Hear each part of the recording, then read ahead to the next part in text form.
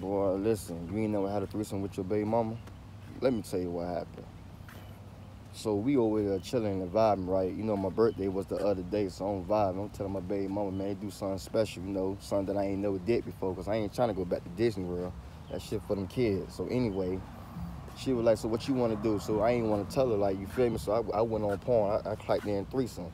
When I put in threesome, she said, oh, you trying to have a threesome? I'm like, what you trying to do? She said, what you trying to do? I said, what you trying to do? She said, what you trying to do? I said, man, go ahead, then go find her. She said, I got her perfect person.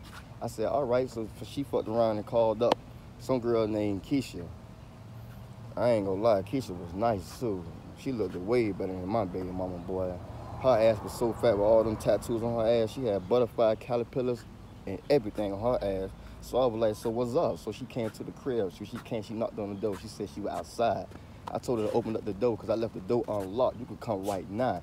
So my baby mama's in the shower. So she knocked on the door. I opened up the door. She came in the door.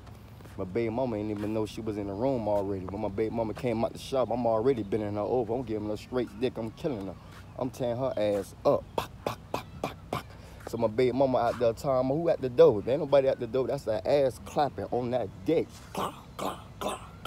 I'm going crazy, y'all. I'm going crazy. I'm going stupid. So my baby mama came out the shower. She came in the room. She see her bent all over. I'm giving her straight dick. So my baby mama told my my baby mama told my damn, you couldn't wait. Wait for what? You see all that ass back there? My baby mama jumped in. When she jumped in, she got the dick for like 10 seconds. I told her I could do that could deal with you later. I want her. Straight pressure. Killed game.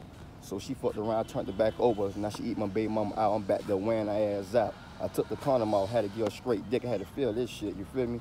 Had to feel that pussy. That pussy was so good. So I'm killing her, right? At the same time, my baby mama giving me eye contact because she realized she ain't getting no dick. I'm just giving her straight dick. So my baby mama got a little mad.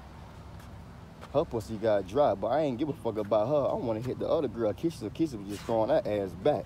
And while she throwing that ass back, her baby daddy called. He kept calling.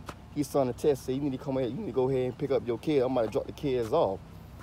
I said, man, fuck them kids. You gonna keep taking this dick. I wearing her ass out, boy. I said, damn, boy, that was the best birthday of my life. Having a threesome with my baby mama.